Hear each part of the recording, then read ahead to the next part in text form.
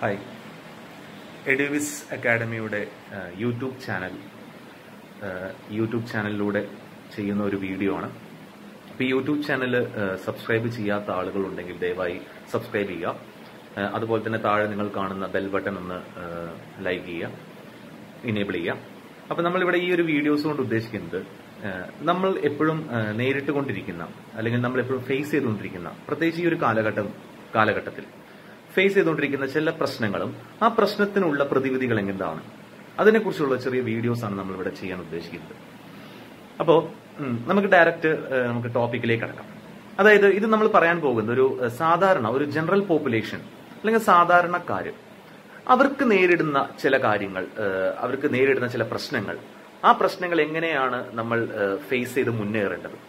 അതിനെക്കുറിച്ചുള്ള കുറച്ച് ജനറൽ ആയിട്ടുള്ള എല്ലാവർക്കും എന്താ പറയുക എല്ലാവർക്കും ഉപകാരപ്രദമാകുന്ന രീതിയിലുള്ള കുറച്ച് വീഡിയോസ് ആണ് നമ്മൾ ചെയ്യുന്നത്.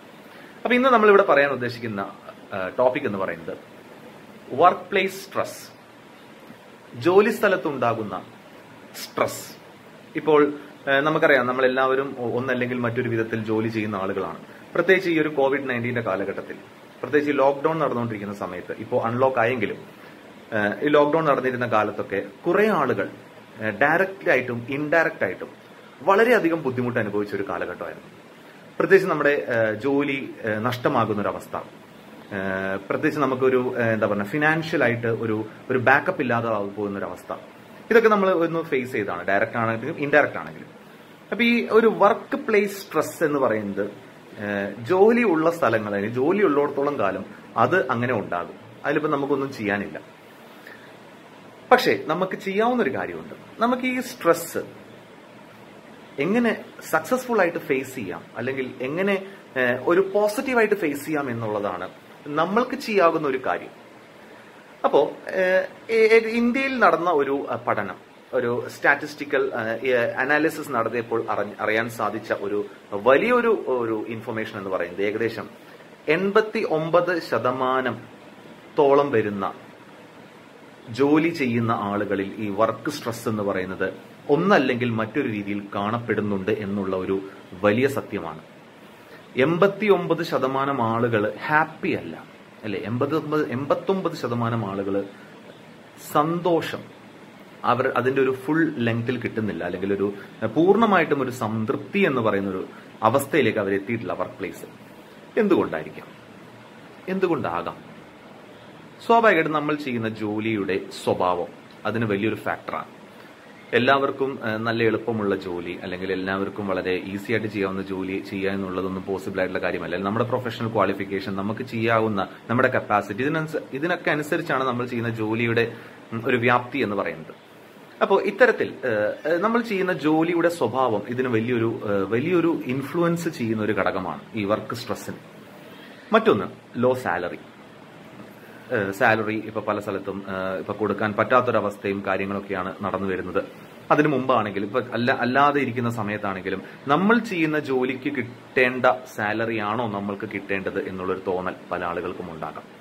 മറ്റൊരു പ്രധാന ഘടകം എന്ന് പറയുന്നത് നമ്മുടെ തന്നെ ഒരു മാനസികമായിട്ടുള്ള ഒരു തയ്യാറെടുപ്പില്ലാതെ നിൽക്കുന്ന ഒരവസ്ഥ അല്ലെ മാനസികമായിട്ടുള്ള തയ്യാറെടുപ്പ് എന്നുള്ളതുകൊണ്ട് ഞാൻ ഉദ്ദേശിക്കുന്നത് ഇതാണ്. ഒരു ഒരു പ്രശ്നം വന്നു കഴിഞ്ഞാൽ ജോലി സ്ഥലത്ത് ഒരു പ്രശ്നം വന്നു കഴിഞ്ഞാൽ നമ്മൾ പെട്ടെന്ന് പെട്ടെന്ന് നമ്മൾ അതിൽ എന്താകും? അങ്ങ് ഭയങ്കരമായിട്ട് ഡൗൺ ആയി പോകും അല്ലെ? നമ്മൾക്കൊന്നും ചെയ്യാൻ പറ്റുന്നില്ലല്ലോ. മറ്റുള്ള ആളുകളൊക്കെ നമ്മളെ കളിയാക്കുകയാണല്ലോ.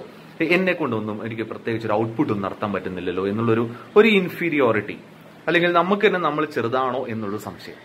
അത് വലിയൊരു ഫാക്ടറാണ് പിന്നെ മറ്റൊരു കാര്യം എന്ന് പറയുന്നത് നമ്മുടെ ജോലിയുടെ സമയം. ജോലി ചെയ്യുന്ന ആ ഒരു ദൈർഘ്യം അതും വളരെ പ്രധാനപ്പെട്ട ഒരു കാര്യമാണ്. ഇതൊക്കെ ആണെങ്കിലും ഇതിലൊക്കെ ചെയ്യാവുന്ന പല കാര്യങ്ങളുണ്ട് നമുക്ക്. നമ്മൾ വിചാരിച്ചു കഴിഞ്ഞാൽ ചെയ്യാകുന്ന ചില കാര്യങ്ങൾ. ഒന്ന് അപ്പൊ നമ്മൾ എങ്ങനെയാണ് ഈ സ്ട്രെസ്സിനെ ഫേസ് ചെയ്യുന്നത്? അതിലേക്കാണ് നമ്മൾ വരുന്നത്.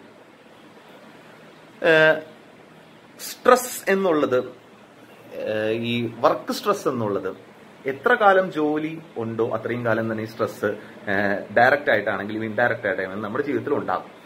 പക്ഷെ അതിനെ നമുക്ക് എങ്ങനെയാണ് ഫേസ് ചെയ്യാം? നമുക്ക് അതിനെ എങ്ങനെ നമുക്ക് പോസിറ്റീവായിട്ട് ഫേസ് ചെയ്യാം? അതാണ് വളരെ പ്രധാനപ്പെട്ട ഒരു കാര്യം എന്ന് പറയുന്നത്. ഒന്ന് നമ്മൾ ചെയ്യേണ്ട ആദ്യത്തെ കാര്യം. നമ്മൾക്ക് സ്ട്രെസ് ഉണ്ടാക്കുന്ന സിറ്റുവേഷൻ ഓക്കെ നമ്മൾക്ക് ഞാനിത് പറയുന്നത് നമ്മൾക്ക് പ്രാക്ടീസ് ചെയ്യേണ്ട കാര്യങ്ങളാണ് കേട്ടോ. നമ്മളുടെ വർക്കിൽ സ്ട്രെസ് ഉണ്ടാകുന്ന രണ്ട് സിറ്റുവേഷൻസ് എന്താണ് എന്ന് നമ്മൾ ആദ്യം മനസ്സിലാക്കാം. രണ്ടിൽ കൂടുതൽ സിറ്റുവേഷൻസ് ഉണ്ടാകാം. കുറെ സിറ്റുവേഷൻസ് ഉണ്ടാകാം. പക്ഷെ നമ്മൾ പറയുന്നത് നമ്മൾ ജനറലി ഒരു പ്രാക്ടിക്കലായിട്ട് നമുക്ക് ചെയ്യാവുന്ന ഒരു കാര്യത്തിന്റെ ഒരു ആംഗിളിലാണ് ഞാൻ പറയുന്നത്.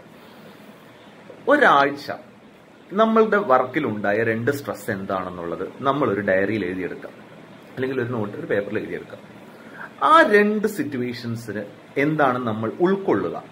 ഓക്കെ ഇനി ആ രണ്ട് സിറ്റുവേഷൻസ് ഞാൻ പറയുന്നത് നമ്മൾക്ക് ചെയ്യാവുന്ന ചില ഒരു ചില ചില ട്രിക്സ് ആണ് കേട്ടോ.